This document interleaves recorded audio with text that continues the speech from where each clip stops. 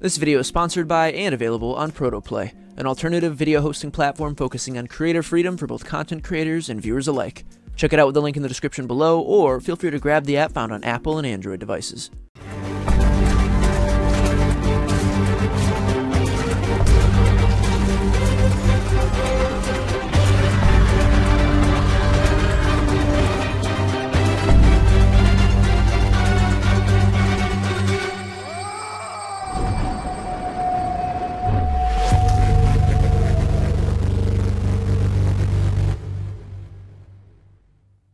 What is good, everybody, and thank you so much for joining me on our latest episode of Kombat Tips. Today's tutorial is going to be focusing on the deadly and carnivorous royal clone known as Mileena. As with all of these tutorials, if there's any particular brutality you've come here to learn today, feel free to hop on down below, and you should be able to find timestamps either on the timeline, the description, or in the comments all of those should take you to anything I feature in today's video. And let me not forget that with all of the controllers available today, should there be any inputs I say in today's video that don't entirely make sense to your particular controller, feel free to use this guide right here, and that should allow you to take anything I say in today's video and convert it onto any platform currently hosting Mortal Kombat 11. You all know how it goes at this point. We're hopping right on over to the cosmetic screen, and that is, of course, to show you that as of this video's release date, I currently have all 25 out of 25 finishers for Mileena, which means today's video is going to be featuring 11 different brutalities. We, of course, are going to be starting off with the classic today, but again, if there's anything in particular you have come here to learn, please feel free to hop on down below, and those timestamps should get you where you gotta go. Super excited to finally be tackling Mileena, my friends. Let's get right into it. The classic. For this particular brutality, you want to make sure that you do not block any attacks during the final round. And to clarify, the final round is your victorious round, so that can be either rounds 2 or 3, just whichever one you as a player are going to be winning on. From there, you simply want to make sure you finish your opponent with an uppercut, and while that's happening, hold either Y or triangle on your respective controller. So of course our uppercut folks, who could forget it, down Y or down triangle, and there you go. Now, as you can see up here, I am on round two, and something I like to clarify with the Classic is this. As you can see, I am blocking, however, I have not yet forfeit the ability to do this brutality, and that's because I'm not actually taking damage while blocking. Okay, so just something small to note. The only reason I even really mention it is because personally, I'm a little reflexive. Sometimes I like to hit that block button, and if I happen to want to go for the Classic and hit it by accident, as long as I can make sure to unblock and not actually take damage while I'm blocking, I know that I can still do this brutality. That really sums this one up though, folks. Simply remember not to block any damage on the final round, and then finish your opponent with an uppercut while holding either Y or triangle. Let's go for it. That's all there is to this one, folks. It's called the Classic for a reason. Next up is the Nail Shooter Brutality. Now for this one, all you gotta do is finish your opponent with a back throw, and while that's happening, push back at least three times during that final animation, or as I always like to suggest with brutalities like this, just spam backwards until you get it going. So by default, a back throw can always be performed if you simply tap L1 or left button by itself, no directions needed, boom, and there you go, you can see we just got our back throw. Same for you arcade style players, X and A at the same time or square and X at the same time and boom, no directions needed, you will still get, by default, your back throw. That about sums this one up though folks. Remember, simply finish your opponent with that back throw and as I like to suggest, just spam backwards until we get it going. Let's do this. Boom, spamming that backwards.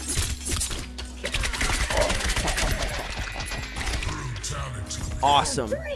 Big fan of this one. It is definitely a classic reference. If you play some of the older games, you will certainly recognize this as a classic in and of itself. And as I've said before, I love when they take those old school brutalities, or rather fatalities, and then turn them into new school brutalities. It's a great way to repurpose them since, compared to nowadays, they're a lot shorter. Next up, we have the Man-Eater brutality. Now for this one, you simply want to finish your opponent with a towards throw, and while that's happening, push down at least twice, or again, as I will suggest, just spam down until we get this one going. Now of course, a towards throw is going to require you to move towards your opponent, and then simply tap L1 or left button while doing so, and as you can see, there it is. Once again, same thing for arcade style players, X and A at the same time, or square and X at the same time while moving towards the opponent, and boom, you of course will still get your towards throw. Oh, look at that one. And that's about it for this one, folks. Finish your opponent with that towards throw, and as I suggested, spam downwards until we get it going. Let's move in. Spam in that downwards direction. Oh.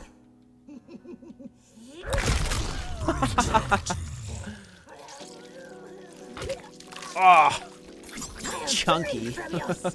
Our next brutality is called Let It Grow, Let It Grow. You will require the Stabby Scotch ability for this particular brutality, so of course, have that good to go, and we can proceed. Thankfully, the requirements are pretty straightforward. You just want to finish your opponent with that amplified Stabby Scotch ability, and while that's happening, make sure to push downwards at least three times, or as again, I will suggest, just spam downwards until we get it going. So our basic Stabby Scotch is going to be forward, down, back, Y, or forward, down, back, triangle, and it should look just like that. Now, of course, we want the amplified version of this ability, so after you have stabbed the opponent a couple times in the face, make sure to tap R1 or right button, and if all goes to plan, you should get this right here. Oh, beautiful. That's it for this one, folks. Finish your opponent with that amplified stabby scotch, and remember, push down at least three times, or as again I will suggest, spam downwards till it gets going. Let's rock. Spamming downwards but it gets better.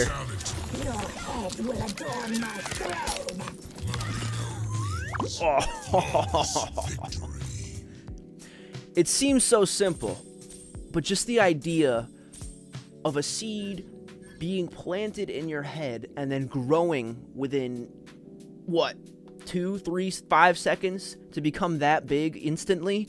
Additionally, this is a really cool reference to what I believe was a friendship for Mileena back in the day. So this was again a really cool way to repurpose that, not only into a nostalgic throwback, but to, into an actual brutality that does what appears to be pretty gruesome damage, if you ask me. It's not what you see with this one, it's what you hear that gnarling, that crushing as the vines are tearing through the head and hatching from the skull.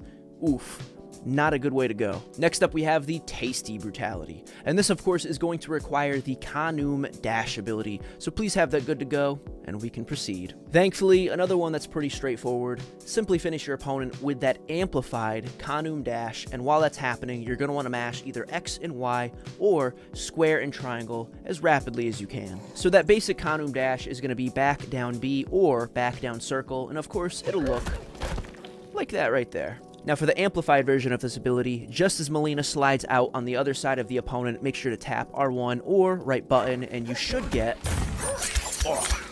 that right there. Now when it comes to mashing X and Y or square and triangle, most people will find that their thumb, boom, sliding between the two works just fine. However, if you happen to have trouble doing that, you can also take your pointer and middle fingers and boom, place each of these separately on one button, and that way you have both of them going, just kind of helping guarantee this brutality might work a little better. But I'd say that sums this one up pretty well, folks. Again, finish your opponent with that amplified Kahnum dash, and make sure to mash either square and triangle or X and Y while it's happening. Let's go for it. Mashing my respective buttons. Oh, gross. Just that extra little slurp of the side of the face. Yeah.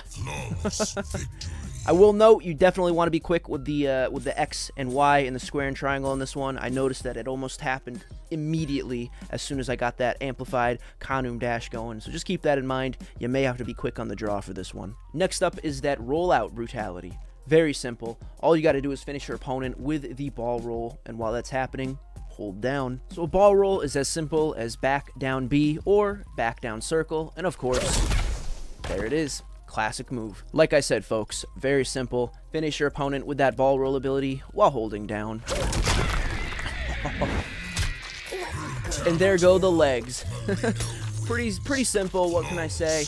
One thing I will note though, there is a slight alternative for this brutality you can do.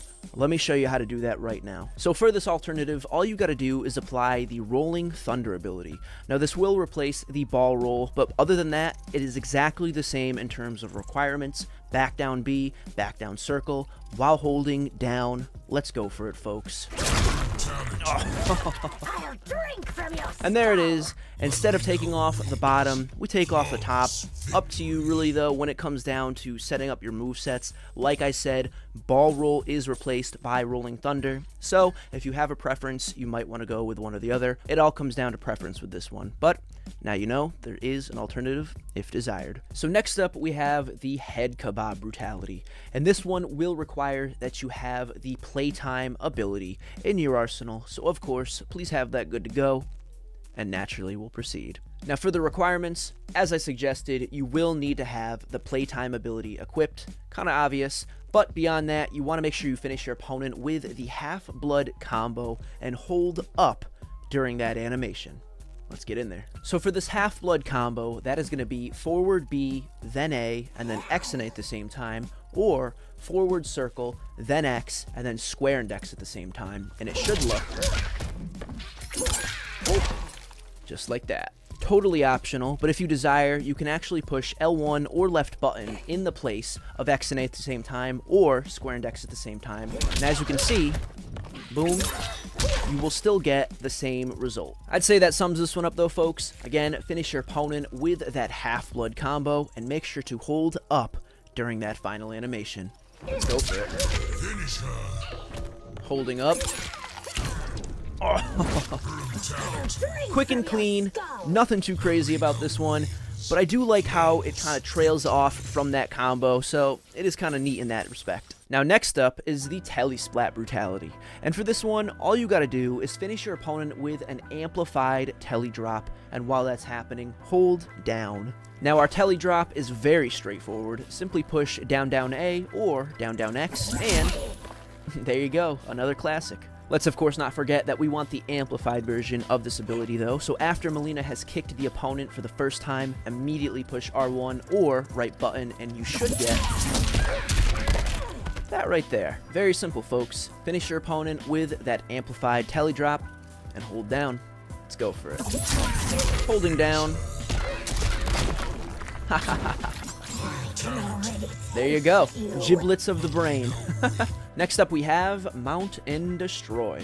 This one will again require that you have the playtime ability equipped in your arsenal, so please have that ready to go and we can move on. Another one that is not too tough. Remember, have that playtime ability equipped, as we already mentioned. From there, you simply want to finish your opponent with the Riding Dirty combo, and while that's happening, push down at least three times, or again, I will always suggest spam down with brutalities like this. So the Riding Dirty combo is going to be X, then X again, and then X and A at the same time, or square, then square again, and then square and X at the same time. And it should look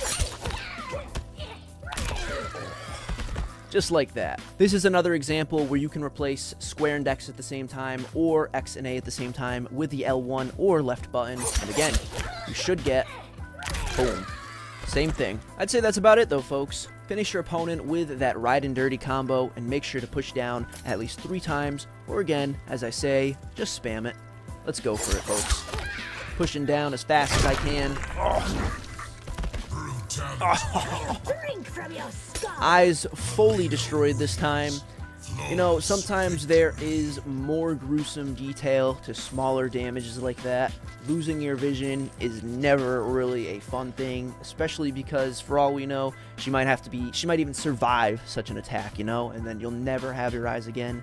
Not ideal. Our next brutality is called Pretty Pretty Princess. Now for this one, all you gotta do is finish your opponent with that Flesh Pits combo while holding up. Now our Flesh Pits combo should be Y, then A, then A, then B, or triangle, then X, then X, and then circle, and all together you should get beautiful. Another very simple brutality, folks. Finish your opponent with that Flesh Pits combo, and hold up while you're doing it. Let's go for it. Holding up. Oh. And there you go. I love that extra flow that comes. They could have just stopped the head from getting, you know, kicked off and that would be it, but they did not stop there and they made the actual body do a little flip through the air too. Just nice bit of extra action going on if you ask me. And again, this one came off a combo, one that is also very fluid. So those are some of my favorite brutalities. So our last brutality for today, folks, is referred to as the pin cushion. For this one, you are going to require the Sai Slide ability, so naturally, have that good to go, and we can proceed. Thankfully, another simplified one, simply finish your opponent with that amplified Sai Slide, and while that's happening, hold down. Now the Sai Slide should be down back X or down back square, and as you can see, pretty cool move if you ask me. Let's not forget, however, that we want the amplified version of this ability, so as the Sai is going up into the sky, make sure to tap R1 or right button, and as you can see, boom, you should get it to home in on the opponent. Does not matter where you are standing. As you can see, even back here with the amplification, it should, boom, still find its way on over to the opponent. That wraps this one up though, folks. Finish your opponent with that amplified Sai Slide, and make sure to hold down while you're doing it. I'm going to do it from way over here just to show you that it does seem to work at any distance. Here we go, folks. Amplifying. and of course, holding down. Simple, right to the point. This one isn't even too messy necessarily. It's just the fact that, you know, shing, a nice way to use that projectile. I'm a big fan, again, of having a way to finish your opponent brutality wise with a projectile because online sometimes you get stuck in those back and forths where it's just you and another player trying to outzone each other and if you can finish it like this all the cooler. Now here's a bit of a bonus for some of you who may want to make use of it. Occasionally, when you finish your opponent with a brutality, you of course will perform a taunt. In this case, Mileena is performing the smile into the mirror taunt, and as you can see, she has a wide open mouth in this case. Alternatively, you can push triangle or Y buttons when she is looking in the mirror, and as you can see right here, Alternatively, she will keep her mouth shut, and that's really all there is to it. Such a small detail, and as I understand, this does not work with all brutalities. With some of them, she won't even be opening her mouth, but it's an option, it's available, and if you want to make use of it, have at it. So that's going to wrap it up for today, folks. But thank you so much for watching this tutorial. Hopefully you guys enjoyed it. I know Mileena is a very popular, very, very famous character, so having her on our tutorial roster is finally an awesome thing to accomplish, especially after she was missing from MKX, so I know her being back is just huge for so many people. It's good to see her, and she's pretty well done if you ask me. I really like how flexible she is in terms of her moves and abilities. She's very much a quick, agile character. It's really cool to see her flowing throughout the battlefield. So I don't know what you guys think, but very much approved on my behalf. If you folks enjoyed this video today, feel free to reflect that down below, either in the form of a like or a comment. And if you want to see more content like this in the future, feel free to subscribe and turn on notifications so you can find out exactly when more content like this is going to go live. I'd say that's going to bring things to a conclusion for today, folks. Once again, thank you so much for watching. I really do appreciate your company, and I appreciate all the support you folks have been giving these videos. If you want to help choose who gets voted into the next tutorial, feel free to check out the poll on my page. I usually try and post one at least in advance, a couple days before making these videos so that I can know exactly who you people want to see next. So once again, thank you so much for watching. I really, really appreciate it. Your company means the world to me. Your comments, your likes, even just your general feedback, whether it be negative or not, it all helps mold this channel into a better future. So again, thank you. I appreciate you all, and hopefully I will see you on the next video. But until then, stay safe and stay happy, my friends. Adios.